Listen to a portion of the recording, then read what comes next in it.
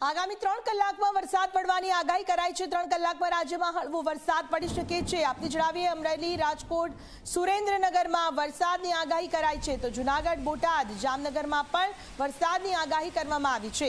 નર્મદા, વલસાડ, વાપી, ડાંગમાં વરસાદ પડી શકે તો સુરત, ભરૂચ, બનાસકાંઠામાં પણ વરસાદની આગાહી કરાઈ છે. સાબરકાંઠા અને ભરૂચમાં પણ વરસાદની આગાહી.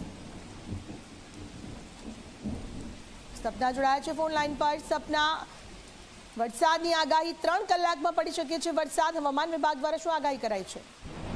બિલકુલ સાથે આગામી ચોવીસ કલાક ગુજરાતના જુદા જુદા વિસ્તારોમાં વરસાદની શક્યતા હવામાન વિભાગે વ્યક્ત કરી છે અને આગામી ત્રણ કલાકમાં મધ્ય ગુજરાત સિવાયના જે ભાગો છે અમુક વિસ્તારો છે ઉત્તર ગુજરાત હોય દક્ષિણ ગુજરાત હોય કે સૌરાષ્ટ્ર રિજિયન હોય તમામ વિસ્તારોમાં હળવા વરસાદની આગાહી વ્યક્ત કરવામાં આવી છે અને વરસાદની સાથે સાથે પવન ફૂંકાવાની પણ શક્યતા વ્યક્ત કરવામાં આવી છે.